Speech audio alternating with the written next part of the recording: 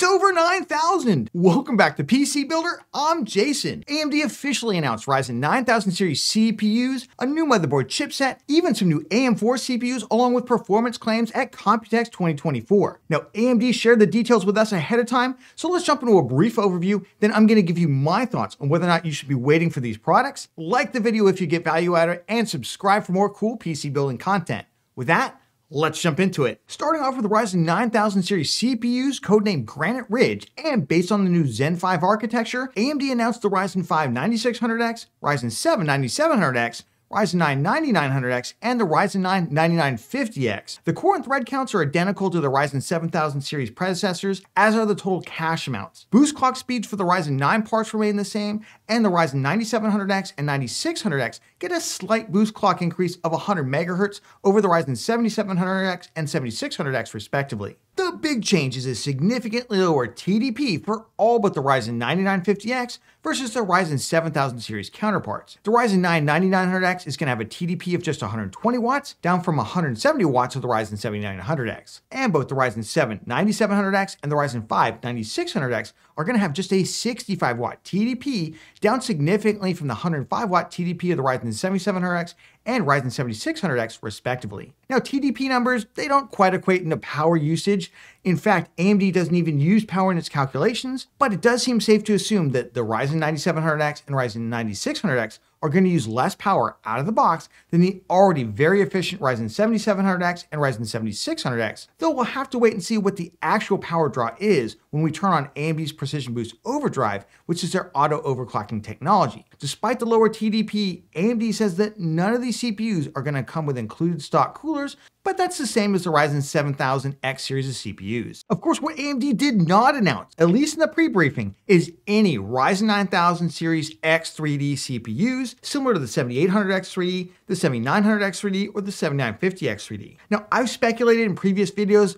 on what I think the release date for the Ryzen 9000 series X3D CPUs is going to be, probably in the fall at the earliest, if not early 2025, but this video is really about what AMD is officially announcing, so I'm just going to leave it at that they didn't provide any additional information to us in the pre-briefing. But what about performance? Now, I want to caution, as always, that what I'm about to show you is first party data provided by AMD themselves and not third party verified testing, so please take everything with a huge grain of salt. In terms of an instruction per clock or IPC increase, AMD is claiming a 16% IPC uplift over the Ryzen 7000 series CPUs, specifically using the Ryzen 9700X versus the 7700X, and a geomean of various games and applications with both CPUs utilizing DDR5 6000 RAM. The only comparison versus Intel CPUs was the Ryzen 9 9950X versus the i9 14900K, but using an RX 7900 XTX GPU rather than the faster and more CPU demanding RTX 4090. AMD used the new Intel default power profile,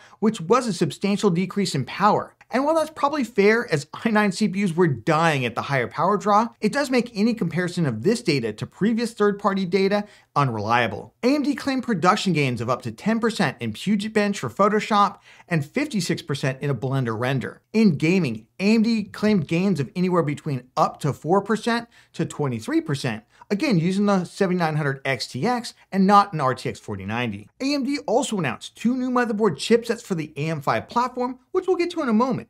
But more importantly, they announced an extension of AM5 platform support through 2027 plus, which is two years longer than the previous through 2025 plus commitment offered at the launch of AM5, which had some of us, namely me, worried. It's not super clear what exactly this means as they still list AM4 as being supported, despite new Zen architectures only launching on the AM5 platform, but it is welcome news for those of us who want to see a repeat of AM4 longevity on AM5. Speaking of AM4, I did note on the same slide AMD shows AM4 support going through 2025, but not further though they did make a specific announcement regarding this. I don't want to read too much into this, but I did see it, and perhaps that means future CPUs for AM4 are still coming. It also marked 10 years of AM4, which when you think about it in light of all other sockets literally ever, is quite amazing. AMD also announced what they call two new chipsets for AM5 in the X870 and X870E motherboards. For some reason, they decided to skip directly from the existing AM5 600 series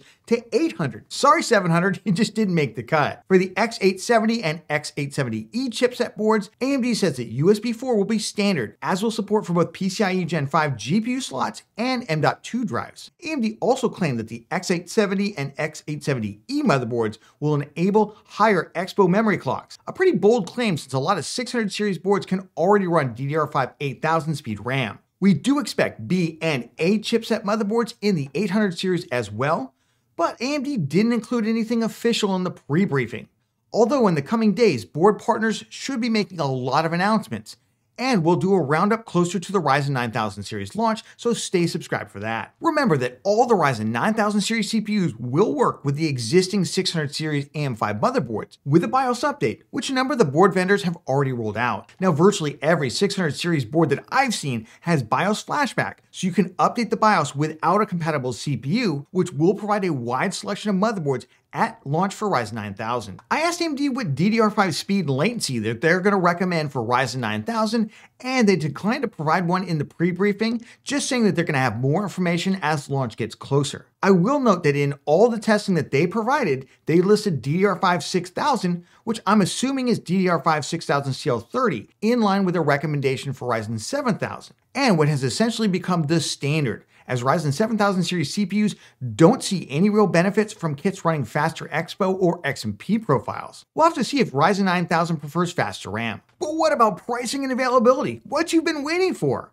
AMD said in its pre-briefing that consumers can expect Ryzen 9000 on the shelf for launch in July 2024. Now, I asked for a more specific date, but AMD just said hey, we're going to provide one closer to the launch. In terms of pricing, AMD declined to provide any pricing information in their pre-briefing materials, also saying that this information would come closer to the launch. Ryzen 7000 series CPUs sold very slowly at launch due to the combination of higher motherboard and DDR5 prices at the time and higher CPU prices, including pricing the Ryzen 7600X at $299 US. Right now, you can pick up a Ryzen 7600 or 7600X for right around 189 with even the 7800X3D selling for 339. It'll be interesting to see if the Ryzen 9600X can at least tie the 7800X3D in gaming performance, which might jumble pricing. Of course, Intel has been busy slashing US CPU prices on 12th, 13th, and 14th gen CPUs just ahead of this announcement, but probably way too late to matter to anybody who's interested in Ryzen 9000. So it does seem like AMD holds all the cards right now, and they do have a history of coming in way too high at launch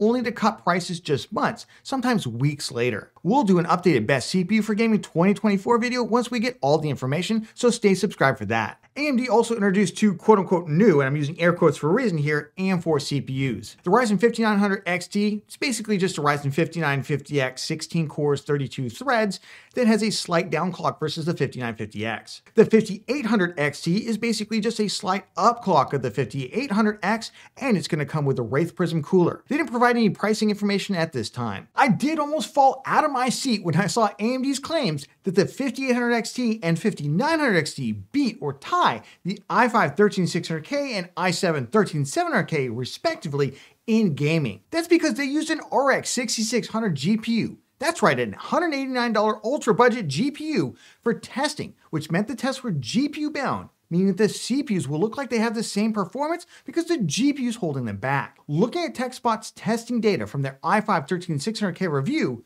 which used an RTX 4090, we can see that the i5 13600K is actually 19% faster than the Ryzen 5800X, while the i7 13700K is 22% faster than the Ryzen 5950X at 1080p, with both using cheaper DDR4 RAM. I asked AMD why they use such a low-end GPU, and they responded that, quote, we picked a GPU we felt matched the segment, something like a 7900 XTX or RTX 4090 would be an odd real world pairing. My response is that the odd pairing here is a gaming PC build with a $300 CPU like the i7-13700K and a GPU that currently retails for $189. I'd love to see testing with an appropriately sized GPU. Alright, so what do I think about Ryzen 9000 series CPUs? We got new AM5 motherboards and we have a renewed commitment to AM5. Let's start there. I'll make this brief. Yes, through 2027 plus Thank you. That should have been announced two years ago when Ryzen, or 18 months ago, when Ryzen 7000 series CPUs came out.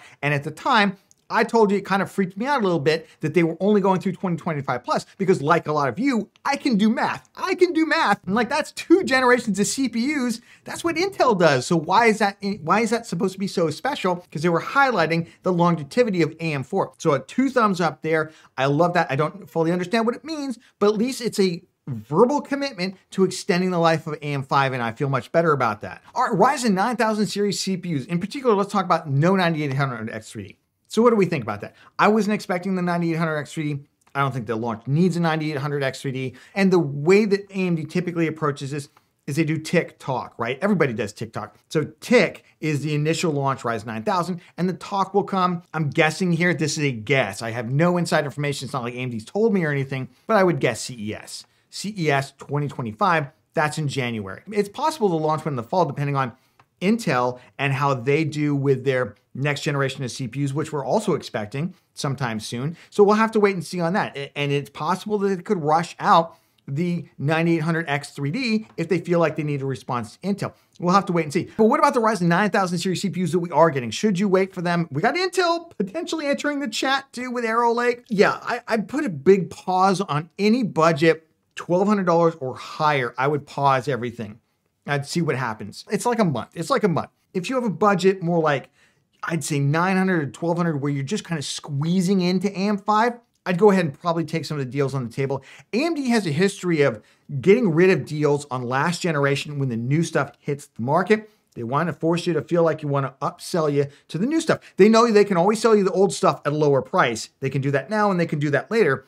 So they're going to do it later. And in the meantime, they're going to make it feel like, oh, Ryzen 9000 for just 30 or $40 more. This makes sense. So then you buy the new stuff, right? So I would probably take the deals on the table right now if you're in that like 900 to $1,200 price range. And anything above that, I'd, I'd, push the pause button and I would wait. Obviously, anything under $800, you got huge amounts of discounts right now. My goodness, i5 12400F for $108 right now.